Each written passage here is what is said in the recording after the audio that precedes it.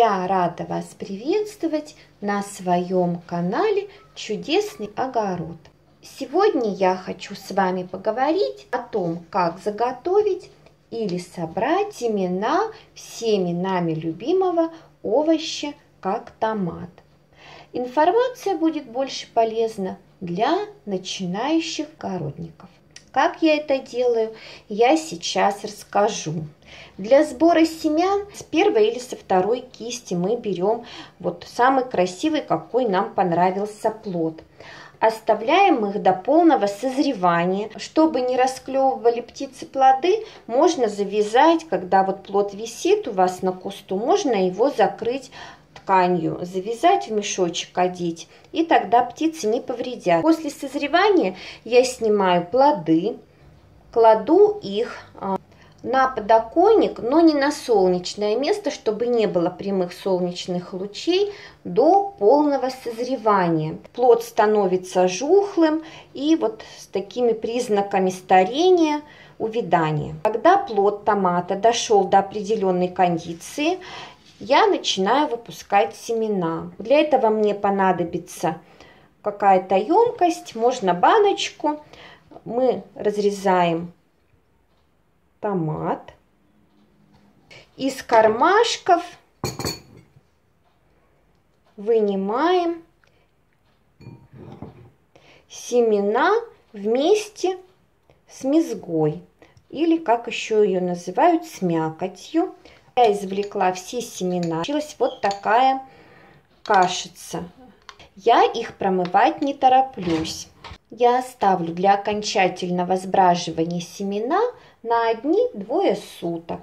Поставлю их в тепло. Очень хорошо поставить на кухонный шкафчик наверх, и чтобы семена сбродили. Обратите, пожалуйста, внимание, эти семена бродят сутки. Время от времени я их помешиваю, достаю и помешиваю, чтобы сверху не образовывалась плесень.